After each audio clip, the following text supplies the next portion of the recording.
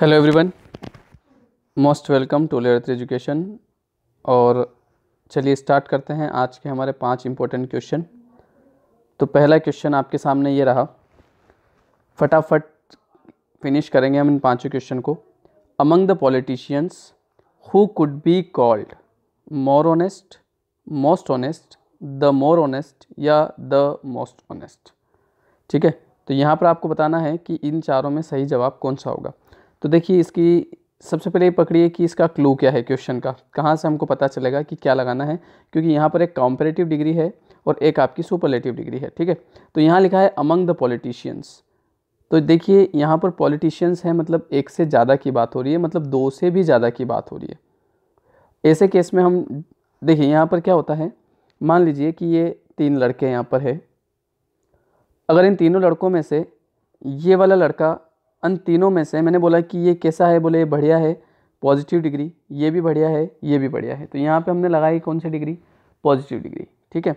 लेकिन अगर यहाँ पर इन तीनों में से मैं इस एक को ही बढ़िया बताऊँ तो फिर ये आपकी होगी सुपरलेटिव डिग्री लेकिन अगर मैं इन दो में से किसी एक को बढ़िया बताऊँ तो ये होगी आपकी कॉम्परेटिव डिग्री और देखा जाए तो यहाँ पर तीन लोग हैं, तीन, चार, पाँच भी हो सकते हैं, लेकिन उनमें से बात हो रही है किसी एक की, क्योंकि इतने लोग हैं, लेकिन इनमें से ऑनेस्ट एक ही है।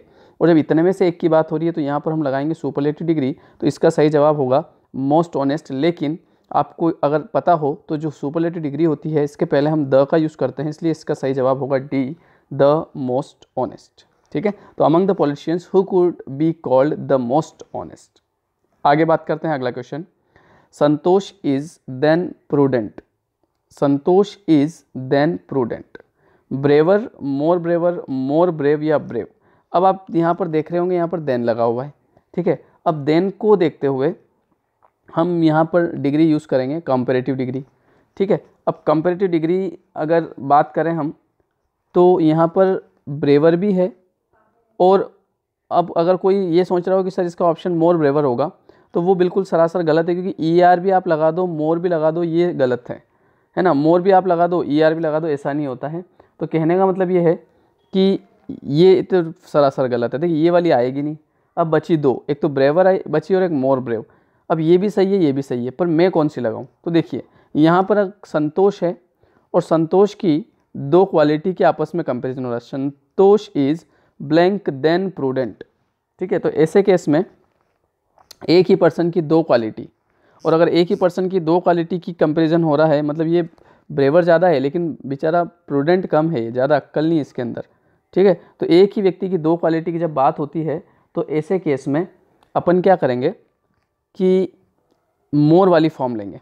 तो इसका सही जवाब होगा मोर ब्रेव ठीक है? हमेशा याद रखिएगा कि जब भी कभी अगर दो अलग अलग व्यक्ति होते हैं यहाँ पर, यहाँ पे अगर Sohan is blank than Mohan होता तो फिर मैं ये वाली लगाता। Sohan is braver than Mohan. लेकिन यहाँ पर चूँकि अलग अलग व्यक्ति नहीं है एक ही व्यक्ति की दो अलग अलग क्वालिटी है, इसलिए मैंने मोर वाली फॉर्म ले ली। तो संतोष इज़ मोर ब्रेव अब ध्यान रखिएगा मोर ब्रेवर भी मत कर देना आप, क्योंकि ये मोर भी लगा दो ई भी लगा दो, ऐसा नहीं चलता है। क्वेश्चन नंबर तीन। I ate four bananas but he did not have blank अब देखिए, इसमें क्या है? आई आज फोर बनानाज ठीक है? अब एनी या सम सम एनी तो सबसे पहले तो बनानास देखिए, और बनानास जो है वो एक काउंटेबल नाउन हो गए, है ना? और इसके पहले प्लूरल भी है तो इसके पहले एनी आएगा नहीं तो यहाँ तो हम लगा देंगे सम और अगर यहाँ हमने सम लगा दिया तो अगले क्वेश्चन में देखिए नॉट है। जहाँ नॉट होता है, वहाँ हमेशा एनी आता है तो इसका सही जवाब आपका हो जाएगा सम एनी मतलब option number B question number चार देख लेते हैं। This sum is blank difficult than that ठीक है? डिफ़िकल्ट देन देखिए नोट डाउन कीजिए देन देन के हिसाब से यहाँ पर आ जाएगा मोर क्योंकि कंपेरेटिव डिग्री का हमको यहाँ पर यूज़ करना है। आगे बात करें तो information the police had was not enough information की बात हो रही तो इस इन्फॉर्मेशन के आगे लिटिल भी लगता है अ लिटिल भी आगे द लिटिल भी लगता है मतलब कि फ्यू वाले को छोड़ के बाकी सब हम लगाते हैं इसके आगे, है ना? लेकिन अब यहाँ पर क्या लगेगा तो वो मैं आपको बता देता हूँ। देखिए, इसमें क्या है, एक ट्रिक बताता हूँ आपको, और वो ट्रिक है हेड है ना? हेड पुलिस हेड हेड मतलब जितनी भी थी। इन्फॉर्मेशन जितनी भी थी तो इसके लिए ऑप्शन आएगा द लिटिल तो the little information the police had was not enough जितनी भी इन्फॉर्मेशन पुलिस के पास थी, वो इनफ नहीं थी। ठीक है? आगे बात करते हैं। छठा क्वेश्चन इट विल ये आपको स्क्रीन पे दिखा होगा question it will rain today it will probably neatly surely none of this देखिए रेन जो है, बारिश का होना एक संभावना है। तो इसकी बनती है प्रोबेबिलिटी इसलिए इसका सही जवाब होगा प्रोबेबली ठीक है? तो ये आपके मैंने छः क्वेश्चन कंप्लीट करवा दिए है। ठीक है? और अभी पाँच तारीख से पैडागोगी की ग्रेड वन और ग्रेड टू के लिए क्लासेस हम शुरू कर रहे हैं। ग्रेड वन ग्रेड टू ठीक है? जिसका शुल्क है मात्र एक हज़ार रुपये ठीक है? ऑनलाइन क्लास रहेगी और कम से कम चालीस प्लस लेक्चर रहेंगे एक एक घंटे के, जिसमें आपकी पूरी पैडागोगी ग्रेड वन की और ग्रेड टू की कंप्लीट करवाई जाएगी। ठीक है? तो इसके लिए आप इस नंबर पर कॉन्टैक्ट कर सकते हैं। मैं आपको नंबर बता देता हूँ। Nine six eight five nine zero one seven four nine. इस पर आपको लिखना होगा पेड यस। ठीक है? तो आपको पेडागोगी और इंग्लिश और हिंदी की क्लासेस भी पाँच तारीख से हम शुरू कर रहे हैं। इंग्लिश ग्रामर और हिंदी ग्रामर की ऑनलाइन क्लासेस ठीक है? और अगर आपको ये क्वेश्चन अच्छे लगे हैं तो प्लीज़ कमेंट ज़रूर करें। इसके अलावा मैं आपसे एक क्वेश्चन पूछता हूँ जिसका कमेंट बॉक्स में आपको जवाब देना है।